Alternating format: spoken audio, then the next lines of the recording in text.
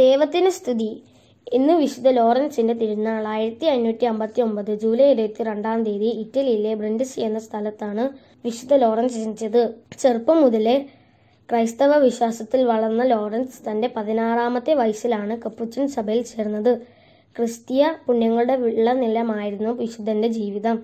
പാതുവ സർവകലാശാലയിൽ നിന്ന് തത്വശാസ്ത്ര പഠനവും ദേവശാസ്ത്ര പഠനവും പൂർത്തിയാക്കിയ വിശുദ്ധൻ ആയിരത്തി അഞ്ഞൂറ്റി അമ്പത്തി മൂന്നിൽ പുരോഹിതനായി അഭിഷേകം ചെയ്യപ്പെട്ടു.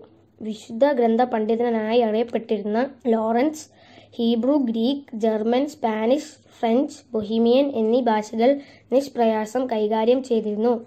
ഹീബ്രു ഭാഷയിൽ വിശുദ്ധനുണ്ടായിരുന്ന അസാമാന്യ സാമർഥ്യം മനസ്സിലാക്കിയ ക്ലമൻ എട്ടാമൻ മാർപ്പാപ്പ അദ്ദേഹത്തെ യൂതന്മാരുടെ ഇടയിൽ സുവിശേഷം പ്രസംഗിക്കാനായി നിയോഗിച്ചു. ഇവിടെ അനവധി ജനങ്ങളെ മാനസാന്തരത്തിലേക്ക് നയിച്ചു.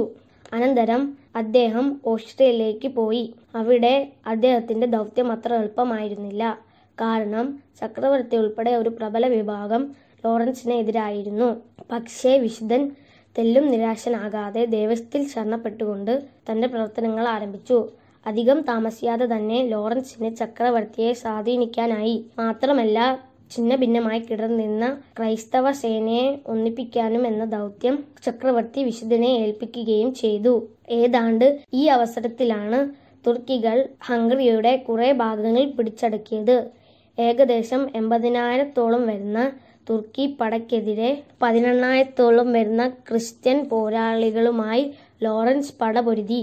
ഒരു ക്രൂശിത രൂപം കയ്യിൽ പിടിച്ചുകൊണ്ട് കുതിരപ്പുറത്തിരുന്നു. ക്രൈസ്തവ യോദ്ധാക്കളെ നയിച്ചു.